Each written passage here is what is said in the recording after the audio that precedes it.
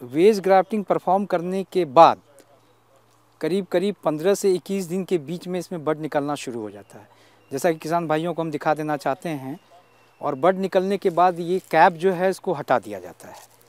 जैसा कि आप देख रहे हैं, ये छोटा छोटा हरा हरा ये बड निकल चुका है। ये बड निकल चुका है। ये इधर देखें, ये बड निकल चुका है। ये ही आपको लीफ बनेगा। लीफ बनने के बाद ये प्लांट करीब करीब छः से सात महीने हम लोग फ़ील्ड में रखते हैं हार्डनिंग के लिए। उसके बाद ये सेलेबल कंडीशन में आ जाता है।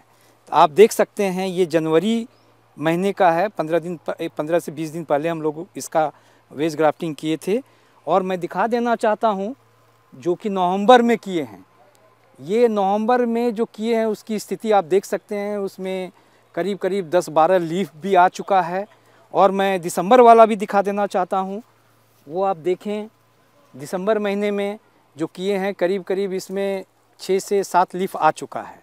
तो आप देख सकते हैं, नवंबर का और दिसंबर का और पंद्रह दिन, बीस दिन पहले जो हमने जनवरी में किया है, उसका और आज की स्थिति जो हमने करके आपको दिखाया, इससे ये साबित होगा कि वेज ग्राफ्टिंग कूटी से, जो कि चाइनीज़ लेयरिंग भी आप कहते हैं उससे ज़्यादा सक्सेस है और इसका परफॉर्मेंस हम लोग देख चुके हैं।